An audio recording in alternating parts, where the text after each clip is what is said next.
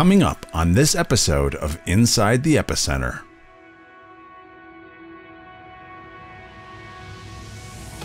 if you ask almost any reporter or any academic or any politician, they would say the number one supporters of Israel, at least in the United States, are evangelical Christians. And that's true, and it's still true. And this new poll confirms that it's true. The problem is that something is not getting transmitted from the older generation to the younger generation. And the younger generation is seeing things or hearing things that are troubling them about Israel.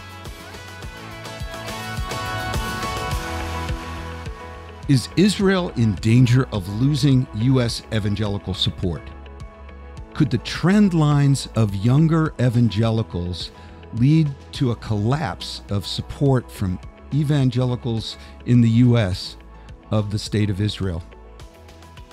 Welcome to Inside the Epicenter with Joel Rosenberg, a podcast of the Joshua Fund, a ministry dedicated to blessing Israel and her neighbors in the name of Jesus. I'm Carl Moeller, Executive Director of the Joshua Fund, and I'm joined by Joel Rosenberg again. Joel, welcome. You're back in Jerusalem, and I'm here in the U.S.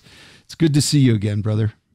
It's good to see you, Carl. But you, we picked a, a very sobering uh, topic for uh, one of the early uh, new uh, podcasts of season two. Yeah, it's true. We've spoken about this issue before in, in one of our earlier podcasts, but you've done a new survey and there's some really troubling trend lines that we want to talk about. But you know, some of this is not new. As we said, we've talked about it, but but Joel, maybe you could highlight, you know, what this new survey shows and and maybe some of the things that are taking place right now among younger evangelicals as your survey found out. Yeah, happy to talk about it, even though not ha- uh, happy, but but I'm happy to talk about because that's what this podcast is about. it's trying to understand what in the world is going on, right? Right with Israel, with her neighbors, with evangelicals who love Israel. And I realize, of course, that not everybody listening to this podcast is an evangelical or even a Christian. But the point is, there are some serious troubles a brewing when it comes to how evangelicals, at least in the United States, look at Israel because there's this huge gap uh, between how parents and grandparents look at Israel and the Jewish people and how their children and grandchildren look at Israel mm. and the Jewish people. And you're right, we did talk about this in season one. And the reason we did was because if you ask almost any reporter or any academic or any politician, they would say the number one supporters of Israel, at least in the United States, are evangelical Christians. Yeah. And that's true, and it's still true. And this new poll uh, confirms that it's true. The problem is that something is not getting transmitted from the older generation to the younger generation. And the younger generation is seeing things or hearing things that are troubling them about Israel. And so, what we looked at in season one was uh, data from several years ago that you know you and I thought were relevant and were because that was the strongest data that we had at the time. I'm mm. part of a coalition of Christian academics and other scholars and authors and ministry leaders, pastors who have formed something called the Alliance for the Peace of Jerusalem. It's an organization that uh, actually loves Israel and its neighbors. I wouldn't have helped found the alliance if that wasn't the case because that's so much part of my and Lynn's theological and personal worldview, and it certainly is baked into the DNA of the Joshua Fund. And so I love these uh, men and women because they're super bright, brighter than me, and they are seminary professors and presidents of seminaries and Bible colleges and so forth.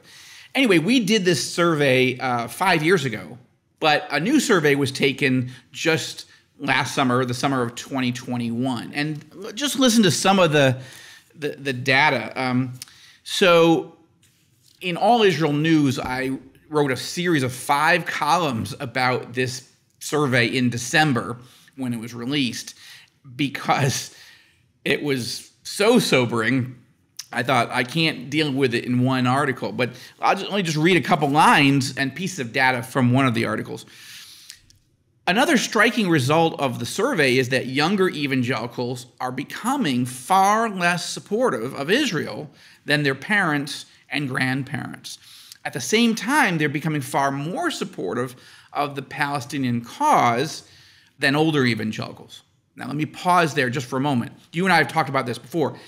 It's not a problem if Christians of any age, any background, anywhere in the world show compassion and love towards Palestinians. All right, That's a good thing. Exactly. Jesus said, yeah, they were made in the image of God. Jesus said to love your neighbor. And even if you say, well, they're not your neighbor, they're your enemy.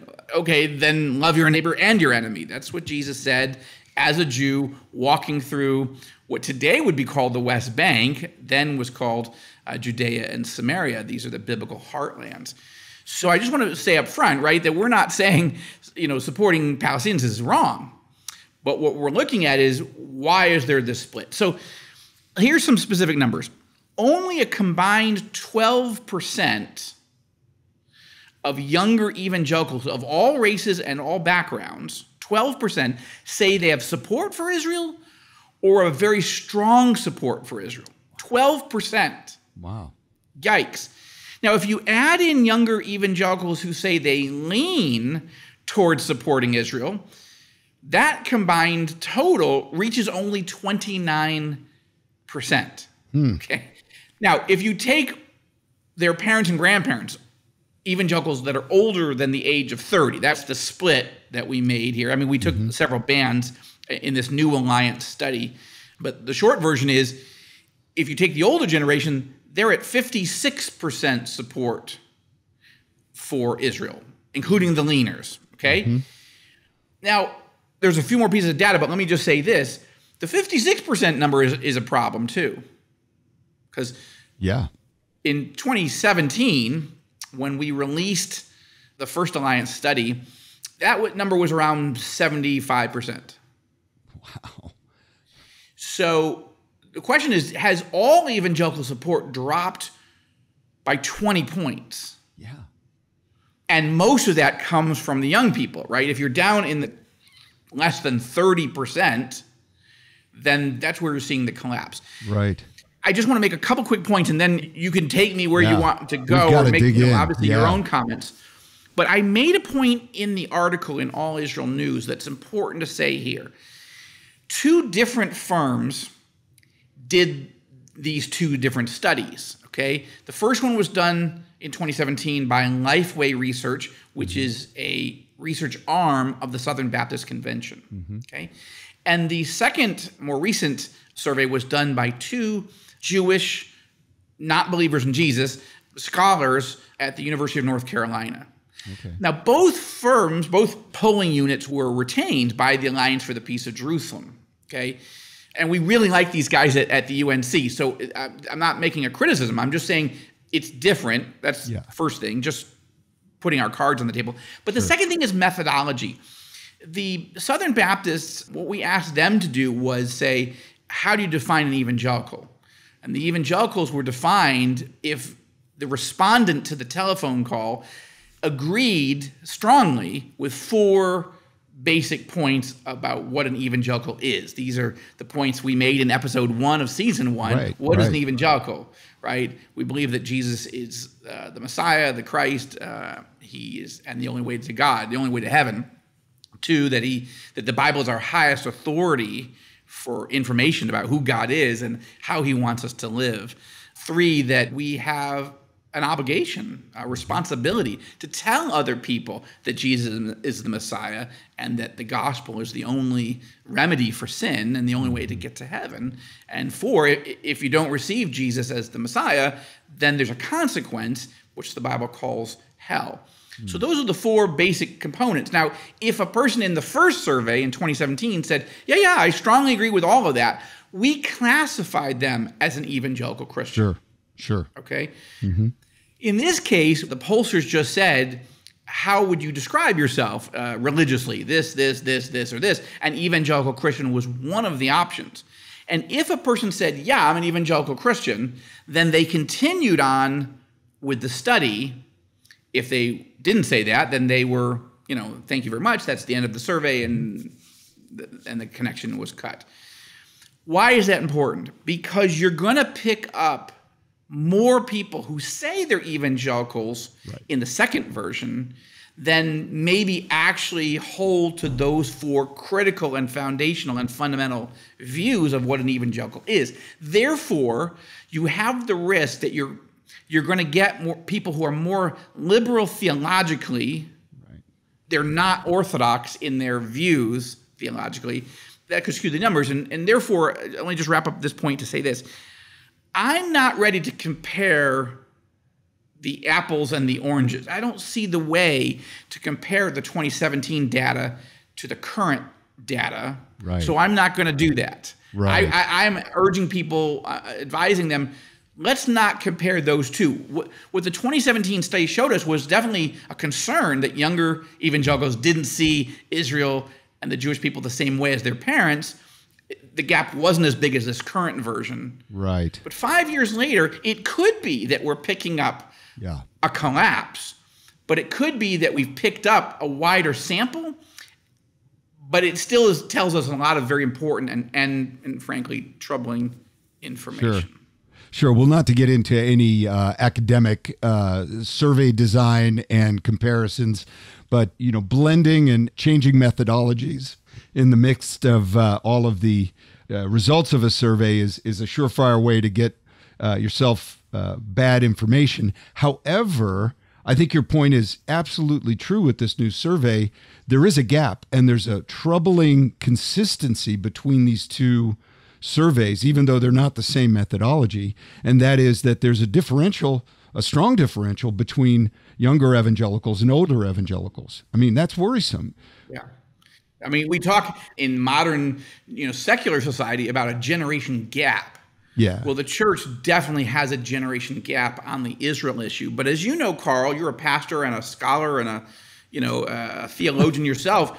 This is a bigger issue because we have big gaps on fundamental Judeo-Christian values, on on abortion, on yeah. on marriage, on, on, on a range, on on the supremacy and sufficiency of Scripture. This generation gap is having multiple. Uh, challenging effects, uh, sure. but Israel is definitely one of those areas. Well, and you've addressed something that is maybe another topic for another podcast, which is the the fruits of some of that root cause do have impacts for evangelicals around the world, thinking and being taught and being uh, preached to about certain positions and theologies that have impacts for a wide range of subjects that you just mentioned. But we're talking specifically about Israel and the way in which uh, your ministry, the Joshua Fund, has you know sort of addressed itself to both Israel and Palestinians in the context of we love both. We follow what Jesus wants us to do. So so we're not saying, and I think your your survey is not saying that it's right to support Israel and wrong to support the Palestinians. It's one way or the other. What it is is saying there's a difference in how evangelicals support Israel. And because the way the culture is defining that as an either or, not a both and, that could be troubling. That could really cause some problems for Israel. At least that's one of the takeaways that I have, which is as the culture continually defines this as a choice to make, either you support Israel or you support the Palestinians. And the way that becomes so polarized, that's the problem here, is that we're seeing a reflection of the polarization rather than sort of a love for both and a willingness to say we support the cause of Jesus in this region and want to create, you know, some responses around that. Two quick points, or I don't know if they're going to be quick. I hope they're quick. You're right. The first point is that you're right that the survey itself didn't um, require of a person to, to have a position one way or the other. The, these were two academic scholars, University of North Carolina, super smart guys, Jewish. They don't believe in Jesus, but they're fascinated with where evangelicals come out on these various issues, and they just want to know. and we wanted to know, and that's point number one that the survey itself didn't take a position. Mm-hmm. Point number two, however, is I take a position. God does want us to have a, a great understanding of, of his love for Israel and the Jewish people, he describes Israel multiple times in the Bible as the apple of his eye. Mm. And that's the pupil, right? Think of when Jesus talked about if you want to take a speck out of your brother's eye, you need to be careful, right? Uh, why don't you first take the log out of your own eye? Coming in and threatening to, you know, put your finger in somebody's eye, yeah. even if you're trying to be helpful, people pull back yeah. because your eye is one of the most sensitive organs in the body. And the idea of somebody else's finger, rough, soft, clean, dirty, you know, with antiseptic, uh, you know, hand cleanser or not, like even more these days, right? Uh, the need to be gentle. Why? Because it's so valuable. Mm. You know, I mean, yes, there are blind people who function by the grace of God, but we generally think of we can't function if our eye is is messed up. Mm. God is saying Israel is so important to me that the language I'm going to explain to the world of why it's so important to me or or how important it is to me is that it's the apple of my eye. Yeah. Don't mess with it. Yeah. Now, it doesn't mean that your eye is always going to be clear. It's all, you know, sometimes there's infections, sometimes there's trouble. Yep. It doesn't mean that the Bible doesn't speak of Israel making serious mistakes. That's why we needed a mm. Messiah to begin with, right? And and why we need redemption, why we need forgiveness. But yeah. the apple of my eye, God is saying this is super central yeah. to who I am as the God of the universe and it's super important and it's super sensitive. And he goes on to call himself the God of Israel. Yeah. So I think it's important, and I think that Christians understandably want to be fair, and that means, well, does God only love Israel? No. Mm. But he's he really loves Israel, and he's using language from Genesis to Revelation about how much he loves Israel. He even has, you know, the three chapters, which we'll, we should do a podcast on uh, all of it, how Paul describes Romans in 9, 10, and 11. He's explaining to the Gentile church, look, look, look I get it. You're not Jewish. I totally get it. But you have to understand how yeah. important Israel and the Jewish people are to me, God is saying. So I don't think of it's good to be neutral, yeah. but it is important to be compassionate and balanced theologically, there is a special place in God's heart for Israel, yes. but it's not exclusive. And I think it's important uh, as we say that right up front. We've got to take a quick break here right now, but when we come back, I want to get into this question of evangelical support for Israel, what it means as evangelicals, and what are some of the concerns not only that we should have for Israel, but that we should have for the evangelical church when it comes to the, the results of these surveys. So um, we're going to take a quick break right now, and we'll get back to that in a second.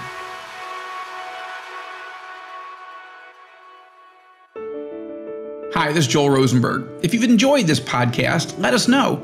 Go to joshuafund.com and use the Contact Us form to provide feedback. Likewise, if you'd like this podcast to continue, you can donate through our giving page, and you can find that link in the upper right hand corner at joshuafund.com. Joel, we're back, and I just want us to take a pause for a second here because, you know, we've done a podcast on the idea of what does it mean to be a chosen people. Um, and and I think you did an excellent job of pointing out about how you know God's word you know, centralizes Israel and how it prioritizes Israel in many ways, God's apple of his eye, that we need to be concerned about how we view Israel. And this survey that we've been talking about has some very troubling elements in relationship to that. So just elaborate a little bit more, if you will, on what it means for evangelicals as we see this support for Israel declining. What does it mean, like you said, yeah. for for some of our understanding of what Paul wrote in Romans and various other parts of the New Testament and and, happy to do it. Yeah, uh, and let's recap just uh, for people just uh, coming into this moment on the podcast. We found that only 12% in this new survey, just taken uh, in 2021 and released in December, that only 12% of evangelical Christians under the age of 30 say they strongly support the nation of Israel. And if you add people who lean, lean like, ah, I guess I support somewhat, I don't know, you get up to 30% roughly, 29%. So that's a problem.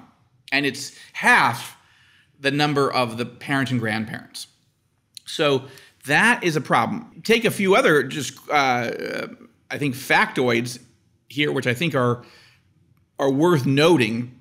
If you ask younger evangelicals, well, okay, only 12% of you support Israel, but do you support the Palestinian cause? 45.4% say they support the Palestinian cause. Four times more young evangelicals support the Palestinian cause than the Israeli cause. Okay, mm-hmm. four times more. That's stunning. By contrast, older evangelicals, those age 30 and older, you know, the parents and the grandparents, uh, as it were, only 12.3% of older evangelicals say they support the Palestinian cause. Now, again, the pollsters used the word cause, right, rather than the Palestinian people, mm-hmm, right? Mm-hmm. So compassion, you, well, I support the Palestinian people. I love the Palestinian people, and I've gotten to know many. Yeah. Yes, there are Palestinians, just like there are Israelis, who I'm like, mm, not so fond of. but as Christians, we have to, we're supposed to, we're commanded to love them. But the Palestinian cause is a theological position, it's a political position, it's a geopolitical position. The pollsters are basically pitting one side or the other. Which side are you on? And young people, young evangelicals under 30 are saying four times more we're for the Palestinians and their cause politically, theologically, than uh, we are for Israelis. The recent Gaza war yeah. recent, at least when we're recording this, it was uh, about eight months, seven, eight months ago in May of 2021. Just a few thoughts, and then I think it'll become clear what the effect of this is if you extrapolate this out five years, 10 years, 15, 20 years. Only 31% of evangelicals under the age of 30 said that they sided with Israel during the war. Now, 26% of younger evangelicals said they sided with the Palestinians. So that's interesting because by a slight margin of five points, younger evangelicals in the United States said they supported Israel a little bit more than, than the percentage that supported the Palestinians. Mm. Again, I think this is a challenging set of questions because the pollsters didn't dive into okay, why? right? So here's another number uh, that I think is worth noting, which is 36% of younger evangelicals said they didn't take either side. Hmm. No, I'm, I'm not for either side. Older evangelicals, 38% said they weren't for either side. And I didn't go through the numbers, but older evangelicals were much more supportive of Israel during the war and much less supportive of the Palestinians. Now, again, I'm not, not being critical of my colleagues who designed this particular survey. I wasn't involved in, in the formulating of the questions, but you, I think it's important at some point you'd, you'd want to say, well, there's a difference between do you support the Hamas cause, right? Mm. That's the terrorist organization that runs the Gaza Strip, or do you support the Israeli cause? Because supporting a terrorist organization is very different. The Palestinian people who are suffering yeah. in Gaza, who are under the tyranny of mm-hmm. the terrorists mm-hmm. of Hamas and Islamic Jihad and a few other terror groups. I totally support the Palestinians of Gaza. I pray for them. I want them to be liberated. But just to be clear, Israel doesn't control or occupy Gaza. Hamas does. Yeah. And uh, there's lots of polling. We'll do another. We should get a, a, Palestinian pollster on here to talk about how Palestinians see Hamas. Right. In Gaza, they hate Hamas because Hamas is the oppressors yeah. of the people. So now, if you extrapolate this out, your question is what's the effect of this? If young people who say they love Jesus and say they love the Bible and say they're evangelicals, if they're turning away from support for Israel, even in a wartime situation, which is why I'm bringing this up. You know, even in war, you like, no, no, I, I don't support them, or you know, that becomes a problem for lots of reasons. One of which, of course, is political. And we don't really talk about partisan politics here, but there is a, a general issue of the United States alliance, strategic alliance with the state of Israel, is strong because of the Christian community's support for Israel. In other words, That's people uh, in the White House or on Capitol Hill, in the House and the Senate, uh, as well as in the you know the governor's houses and the legislatures, they are passing legislation and passing funding and other you know supplying military equipment and missile defenses and all these other things for Israel with Israel because they strongly support Israel. Now that's true of the leaders, I mean of, of the individual politicians in question, but it's also true because in their state, in their districts, are you know many many strong devout followers of Jesus Christ who love Israel and are mm-hmm. telling their elected representatives you need to do that too. It's very hard to mm-hmm. get elected in, in the United States in most districts and most states if you hate Israel or you've turned against Israel and the Jewish community, you know, we think of, you know, or many people think of the Jewish community as, well, this is the backbone of pro Israel support. You would think that. But if you look at polling about the Jewish community, American Jews are very split about Israel. And more importantly, even if every single Jewish person in America was passionate about Israel, and they're not all, it's very split. But if even if they were, this is 2% of the American population. Okay? Evangelical Christians are roughly about 60 to 70 million. If you just generally ask people, Are you an evangelical? and how do you vote? If you ask them specifically those four questions about, Do you believe these things? That's maybe 40 to 45 million. Okay? So there's a gap in that. But the point is, if that population, which overwhelmingly has supported Israel for the last 75 years or so, mm-hmm. if those numbers start to slide or collapse, you're going to start seeing people elected to the House, to the Senate, to governors' mansions, to state legislatures, and to the presidency who are not supporters of Israel. Mm. And again, not making partisan points here. I'm not trying to tell you the Democrats this, the, the Republicans that, Uh, but, but I'm going to give you an example just so that people hear. Bernie Sanders is Jewish, right? He's the senator from Vermont, Jewish, independent. He, he sides with the Democrats. But just as an example, he has strong uh, reservations, let's say, st- and sharp, sharp criticisms of Israel, up to and including often voting against funding for Israeli missile defense systems or other uh, weapon systems. So you'd say, well, Yeah. he's Jewish. Doesn't he love Israel? well, I'm not going to get into his definition of whether he does or he doesn't. I'm just saying, how does he vote? Yeah. Now, the bigger concern, longer term, even than the political support uh, for Israel, of course, would be does the church love, pray for, and support our brothers and sisters in the land of Israel, as well as in the region, and support the need for every person in this land of Israel to at least hear the gospel of Jesus Christ and understand it enough to be able to make a decision for Jesus as the Messiah or against him.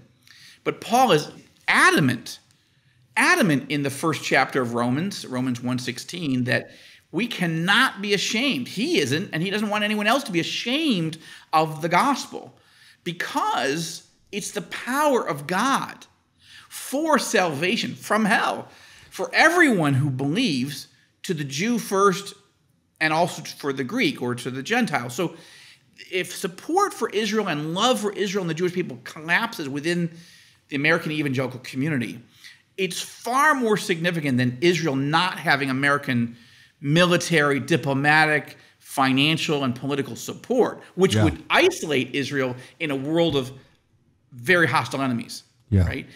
But it also, that collapse would also create an environment where fewer people were praying for, financially investing in, standing with our brothers and sisters who want to make sure that every Jewish person in Israel and around the world at least has a chance to make a decision hmm. because they've heard the gospel and then they can make their own free choice. But if they have never heard, Paul says, how are they going to believe?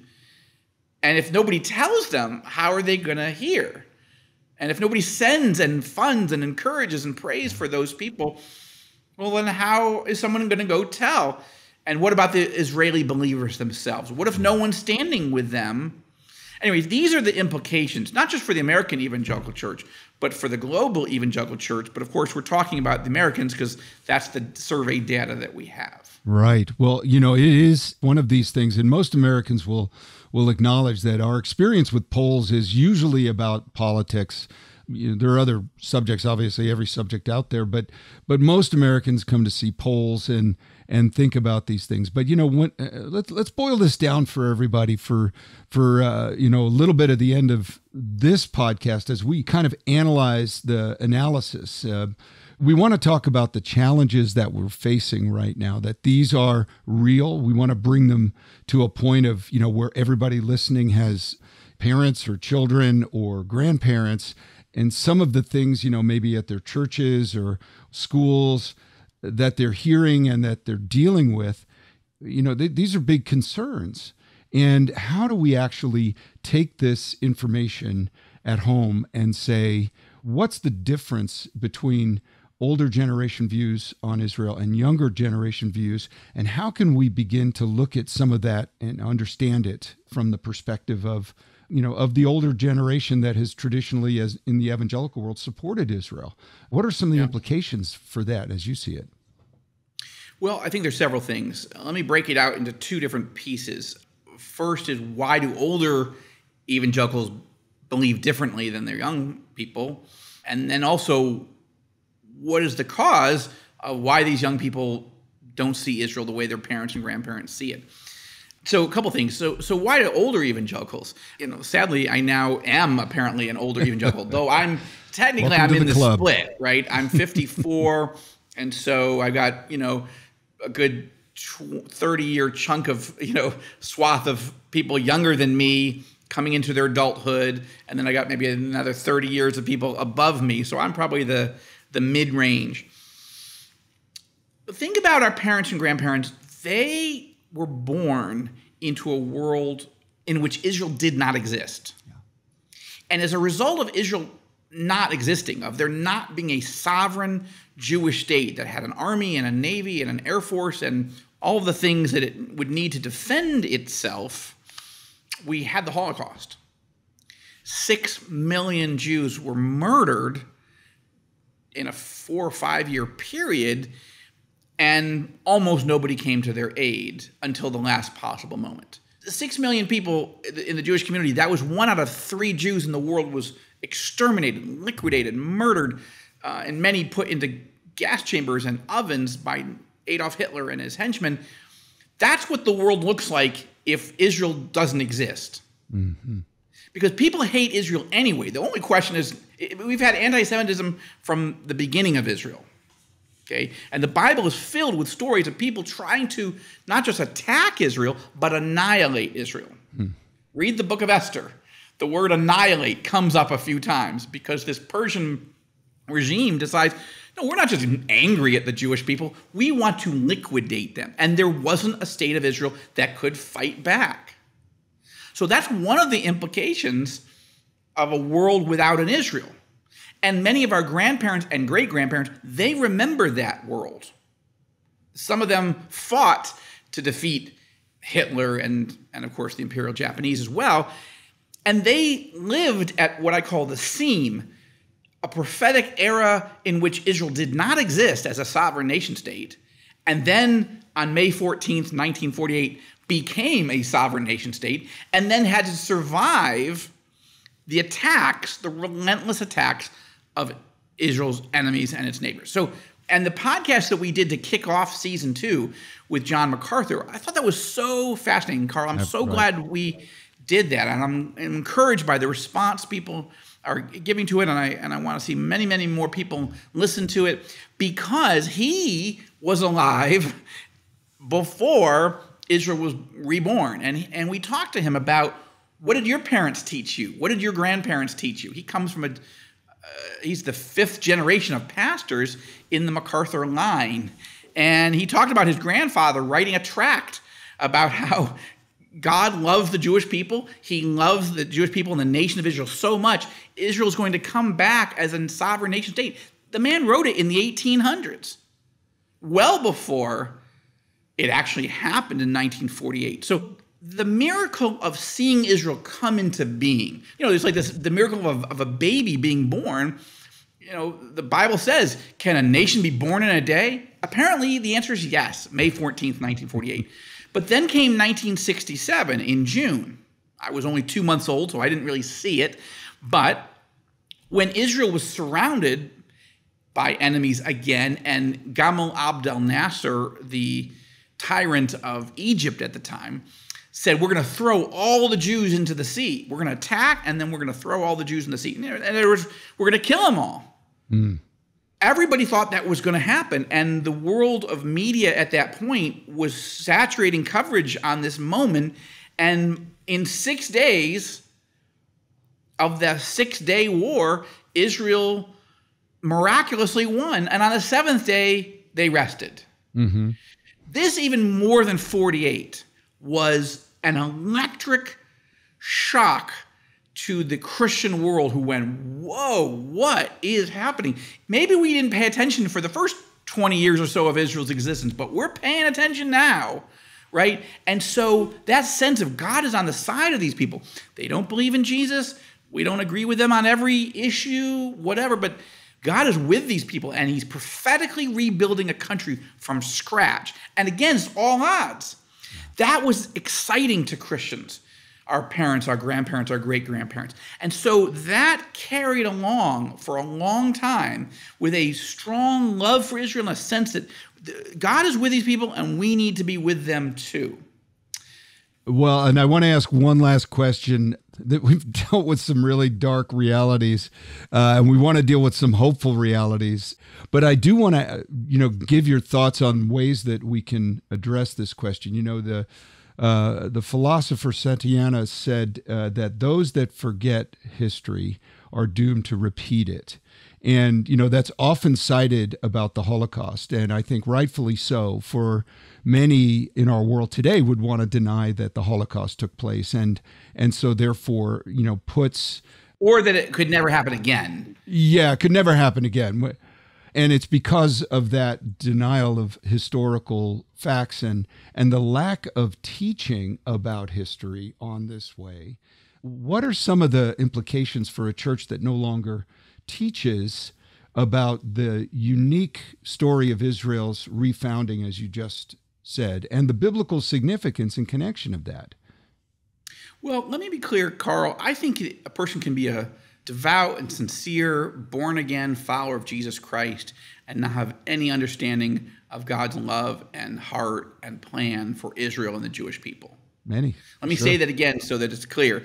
I believe that a person can be a devout, faithful, born again follower of Jesus Christ, going to heaven, saved from their sins, um, and not understand why God loves Israel, that he loves Israel, or what that means, why that's important. And I think there are sincere Christians, I meet them all over the United States and all over the world who just don't see it.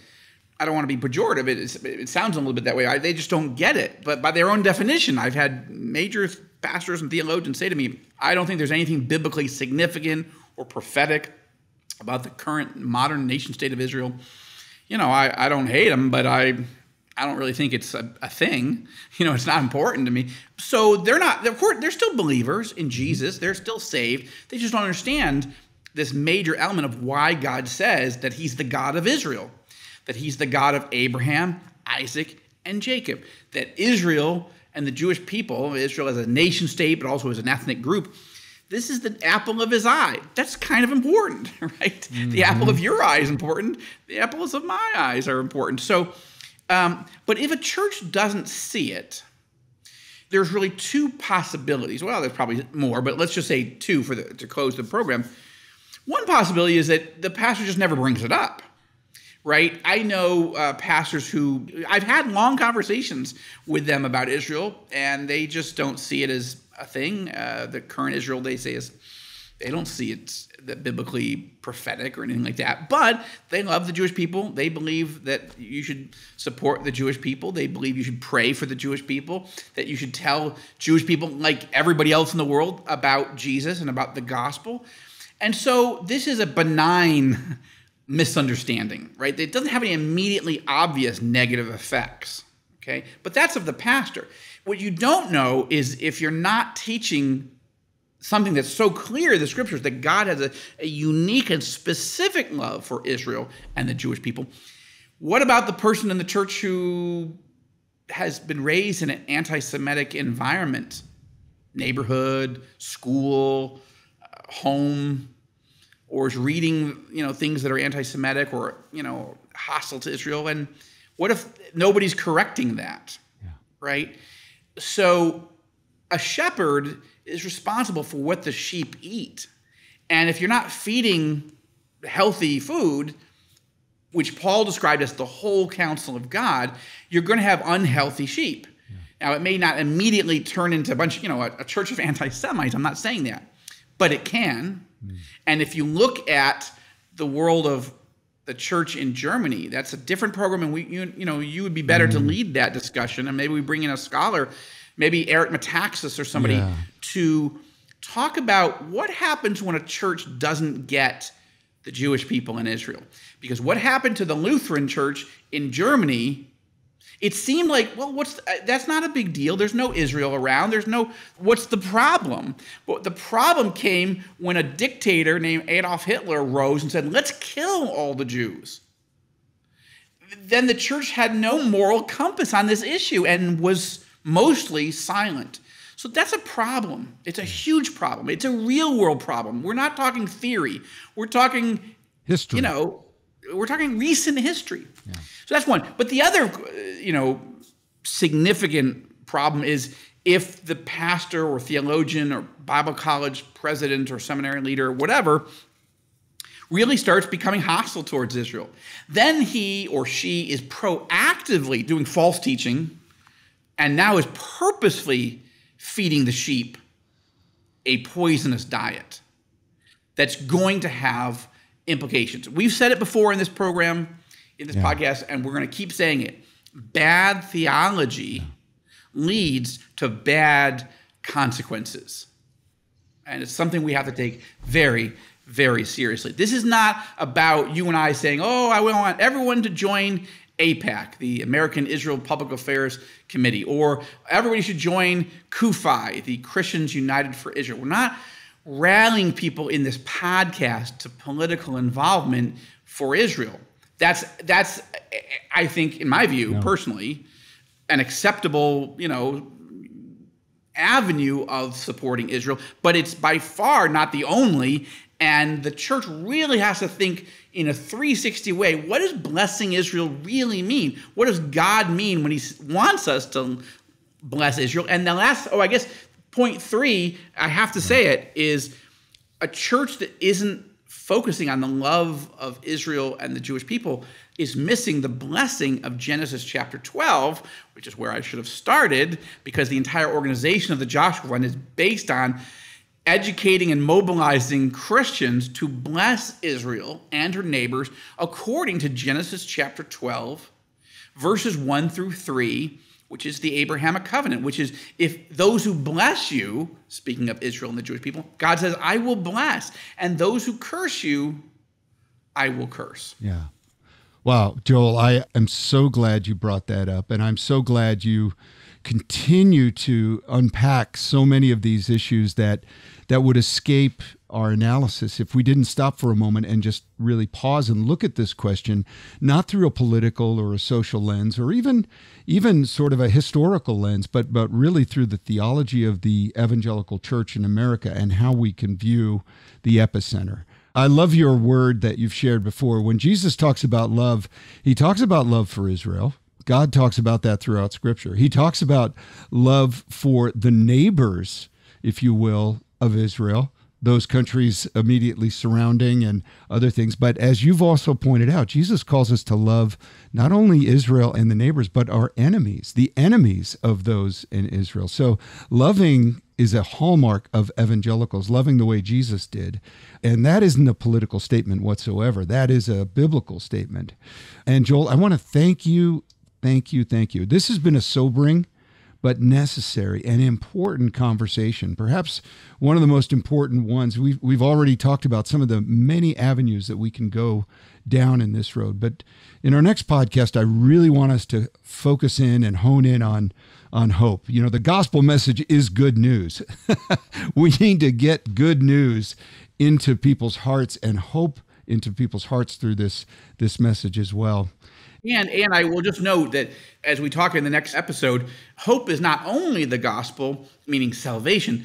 There is hope for how do you educate the next generations of believers on lots of different issues, and particularly God's heart for Israel and the Jewish people. So, this is a very practical uh, next program we're going to talk about. Yeah, thanks, Joel. And again, to all our listeners, thank you.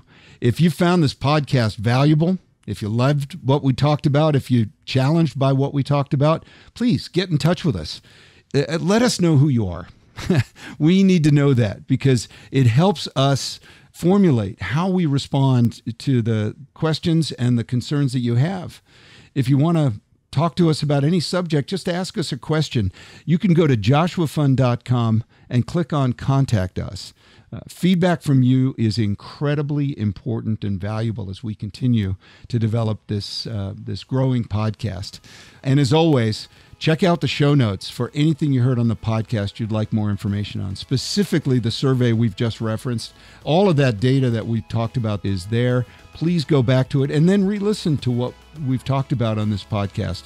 And tune in for the next podcast where we talk uh, further about the implications for this survey on evangelical support for Israel. For Joel Rosenberg, I'm Carl Moeller. Thanks for listening to this episode Inside the Epicenter with Joel Rosenberg.